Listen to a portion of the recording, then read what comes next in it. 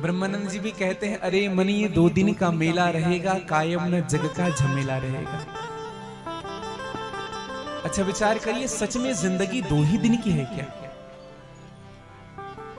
हमें तो बहुत दिन तक से समझ नहीं आया कि ज़िंदगी दो दिन की है। लेकिन जब बाद में जब विचार करने लगे ना, तब समझ आया, ये ज़िंदगी सच में दो ही दिन की है। कौन कौन से दिन? एक जन्म का दिन और दूसरा मृत्यु का दिन।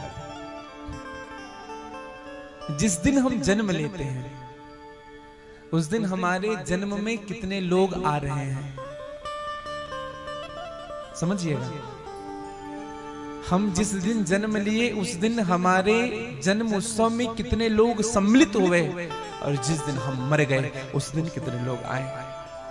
यही आपकी कमाई दिखती है मरने के समय आपने कितना कमाया है। धन नहीं है भैया। पैसे नहीं है। पैसे तो सब कमा लेते हैं। आपने जन कितना कमाया है। ये दो ही दिन है।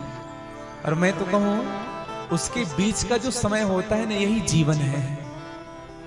और इसी जीवन में ज़िंदगी में सदा मुस्कुराते रहो।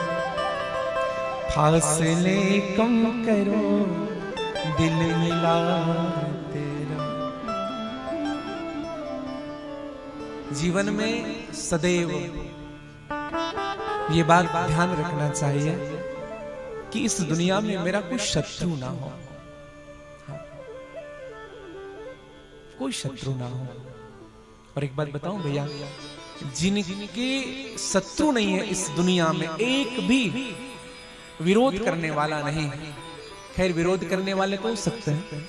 अच्छी चीज़ों का विरोध तो होता है। लेकिन अगर आपके अगर शत्रु नहीं है तो आपसे अमीर इस दुनिया में कोई नहीं। है आपसे अमीर नहीं। है आपसे धनवान नहीं। आपसे संपत्तिवान नहीं। आपने दुआओं की। धन कमा करके रखा। है और जब जीवन में जब दवा काम नहीं आता है ना भैया तब दुआ काम आती है।